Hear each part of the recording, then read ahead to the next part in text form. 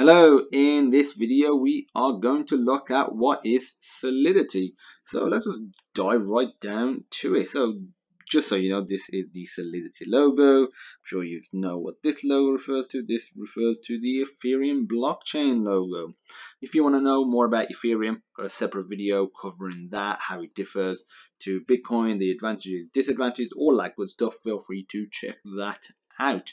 So Solidity is a programming language. It's a programming language. Okay, so that's pretty cool.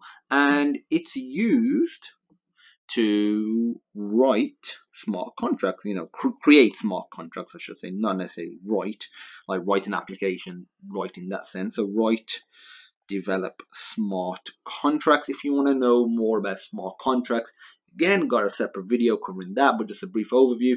Basically, cuts out the middleman and it allows a transaction to occur automatically when a condition is met, when some sort of business logic has occurred. Again, got a separate video. Feel free to check that out for more in-depth analysis of what a smart contract is.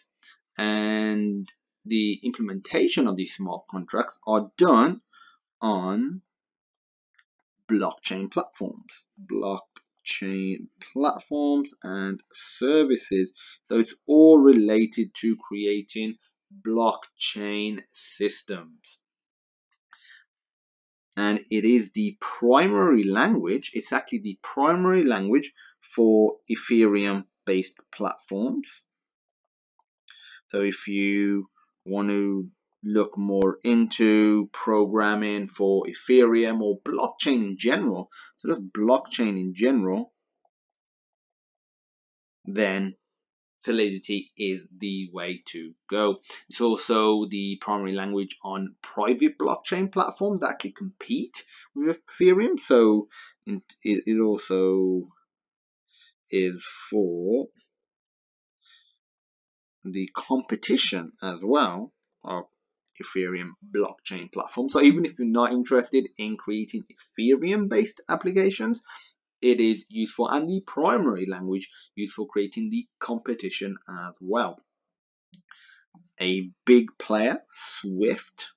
We all know Swift. If you don't, Swift allows the transfer of money globally, so from one country to another. It helps facilitate that through a messaging system, not messaging like WhatsApp, but messaging that allows you know entities in one country like the UK where I am to send money, let's say to China, for example, using their messaging identity system. Also, the BIC code is part of this ecosystem. You might have heard of that. The Banking International. Actually, I can't remember what it stands for. That's embarrassing, but yeah, I can't remember what it stands for. But the BIC code is very crucial. I think it's Banking International code.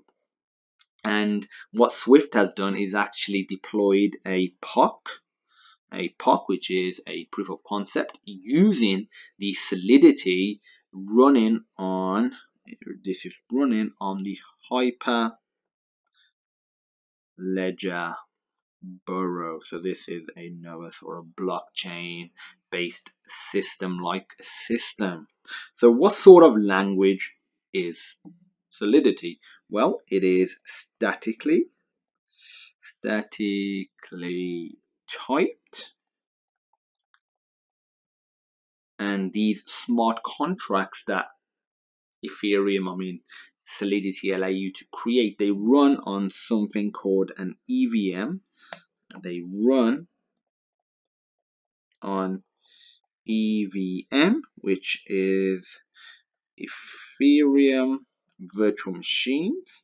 Again, gonna have a separate video covering Ethereum virtual machines, but these basically allow you to use the Ethereum platform, the Ethereum blockchain implementation without having to create, you know, another blockchain essentially every single time you want to create a whole new application or when a different developer wants to create it. So it's just a very easy way to start creating decentralized, distributed systems without having to, you know, rewrite a lot of stuff. Hence why you use a language it's tried and tested and you just reuse what people have already created.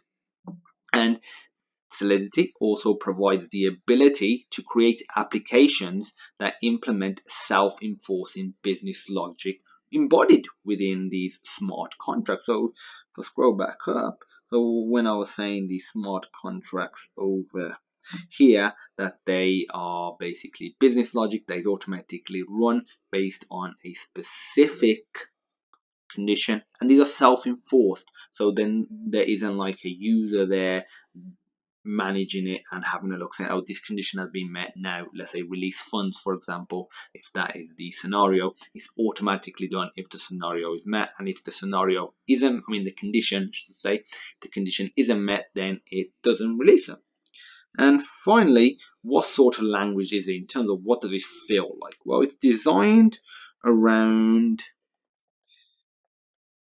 mm, that's meant to be an E or like some sort of dodgy cake, the ECMA script. So it is the ECMA script syntax. So it's very similar to JavaScript. So a lot of web developers will be right at home here. It was influenced by many big languages. I'm sure you've heard of all of these. JavaScript, obviously. JavaScript influenced by C++, by Python, and by PowerShell. So that's just a history, what it is, and why you might want to use Solidity. So I look forward to seeing you in my next video. But if you have any questions in the meantime, feel free to reach out. And as usual, stay cool and stay frosty.